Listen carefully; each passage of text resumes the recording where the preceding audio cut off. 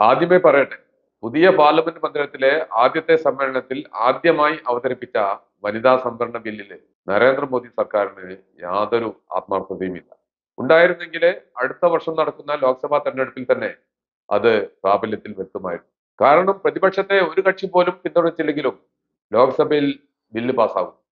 ബില്ലിൽ O B C സംവരണം കൂടി വ്യവസ്ഥ ചെയ്യണമെന്ന് Congress Samajwadi party R J D Muslim League തുടങ്ങിയ പാർട്ടികൾ ആവശ്യപ്പെടുന്നുണ്ടെങ്കിലും കോൺഗ്രസ് അത് വ്യവസ്ഥ ചെയ്താൽ മാത്രമേ തങ്ങൾ പിന്തുണയ്ക്കൂ എന്ന് പറയുന്നില്ല. അതിനാല് രാജ്യസഭയിലും ബില്ല് പാസ്സാവും. പിന്നെ വേണ്ടത് ഇന്ത്യയിലെ പകുതി സംസ്ഥാന നിയമസഭകൾ ബില്ലിനെ അനുകൂലിക്കുകയാണ്. അതിനും ഇന്നത്തെ അവസ്ഥയിൽ യാതൊരു തടസ്സവുമില്ല. എന്നിട്ടും ഈ ബിൽ ഉടനെ നടപ്പിൽ വരുത്താൻ കേന്ദ്ര സർക്കാർ യാതൊരു താല്പര്യവും കാണിക്കുന്നില്ല. കാരണം മറ്റെല്ലാ കാര്യങ്ങളിലും എന്ന പോലെ വനിതാ സംവരണ കാര്യത്തിലും ഞങ്ങളാണ് ബിൽ പാസാക്കിയത് എന്ന ഷോ കാണിക്കൽ മാത്രമാണ് അവരുടെ ലക്ഷ്യം. ഇതും പറഞ്ഞ് തെരഞ്ഞെടുപ്പ് പ്രചാരണം നടത്തണം. സ്ത്രീകളെ മോഹിപ്പിച്ച് വോട്ട് തട്ടിയെടുക്കണം.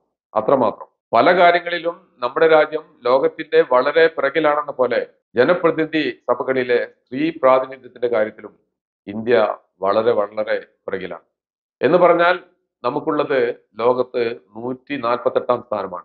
ആഗോള വനിതാ ജനപ്രതിനിധി ശരാശരി ഇരുപത്തിയഞ്ച് പോയിന്റ് എട്ട് ശതമാനമാണെങ്കിൽ ഇന്ത്യയിൽ അത് പതിനാല് പോയിന്റ് നാല് ശതമാനം മാത്രമേ ഉള്ളൂ. പാകിസ്ഥാൻ പാർലമെന്റിൽ പോലും ഇരുപത് ശതമാനം വനിതാ പ്രാതിനിധ്യമുണ്ട്. എന്തിനധികം പറയുന്നു താലിബാൻ അധികാരം പിടിച്ചെടുക്കുന്നതിന് മുമ്പ് അഫ്ഗാനിസ്ഥാൻ പാർലമെന്റിലെ എഴുപതോളം സ്ത്രീകൾ ഉണ്ടായിരുന്നു നമ്മളിപ്പോഴുള്ളത് രണ്ടായിരത്തി ഇരുപത്തി മൂന്നിലാണ് അടുത്ത ലോക്സഭാ തെരഞ്ഞെടുപ്പ് അടുത്ത വർഷം അതായത് രണ്ടായിരത്തി ഇരുപത്തിനാലിലാണ് അത് കഴിഞ്ഞാൽ പിന്നെ അടുത്ത തെരഞ്ഞെടുപ്പ് നടക്കേണ്ടത് രണ്ടായിരത്തി ഇരുപത്തി ഒമ്പതിലാണ് ആ തെരഞ്ഞെടുപ്പിൽ പോലും സ്ത്രീകൾക്ക് മുപ്പത്തിമൂന്ന് ശതമാനം നടപ്പാകുമെന്ന് യാതൊരു ഉറപ്പുമില്ല. കാരണം കേന്ദ്ര സർക്കാർ ഇപ്പോൾ പറയുന്ന ന്യായപ്രകാരം ആദ്യം രാജ്യവ്യാപകമായി സെൻസസ് നടത്തണം. രണ്ടായിരത്തി ഇരുപത്തി ഒന്നിൽ നടക്കേണ്ട സെൻസസ് കോവിഡ് കാരണം നടത്താൻ കഴിഞ്ഞില്ല.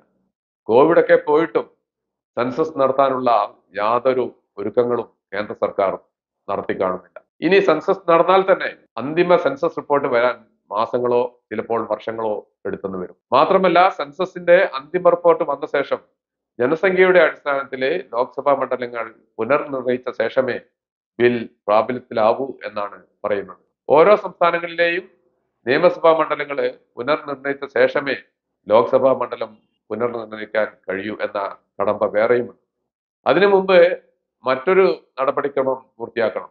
അതായത് നിയമസഭ ലോക്സഭാ മണ്ഡലങ്ങൾ പുനർനിർണയിക്കണമെങ്കിൽ ആദ്യം സർക്കാർ ഡീലിമിറ്റേഷൻ കമ്മീഷനെ നിയമിക്കണം. ഇതെല്ലാം കഴിഞ്ഞു വരുമ്പോഴേക്കും രണ്ടായിരത്തി ഇരുപത്തി ഒമ്പതിലെ പാർലമെന്റ് തെരഞ്ഞെടുപ്പും ചിലപ്പോൾ കഴിഞ്ഞെന്ന് വരും. വനിതാ സംവരണ ബില്ലിൽ സർക്കാരിന് ആത്മാർത്ഥതയുണ്ടെങ്കിൽ രണ്ടായിരത്തി ഇരുപത്തിനാലിൽ തന്നെ അത് നടപ്പാക്കുമായിരുന്നു. ഒരൊറ്റ രാത്രി കൊണ്ട് നോട്ട് നിരോധിച്ച സർക്കാരാണിത്. മണിക്കൂറുകൾക്കകം ജമ്മു കാശ്മീരിനെ രണ്ട് കേന്ദ്രഭരണ പ്രദേശമാക്കിയ സർക്കാരാണിത് അങ്ങനെ എന്തെല്ലാം ഏതെല്ലാം തീരുമാനങ്ങൾ എടുത്തു? ആ തീരുമാനങ്ങളിൽ പലതും ജനവിരുദ്ധവും രാജ്യ താല്പര്യത്തിന് വിരുദ്ധവുമായിരുന്നു. എന്നാൽ വനിതാ സംവരണ ബിൽ രാജ്യം എന്നോ കാത്തിരിക്കുന്നതാണ്.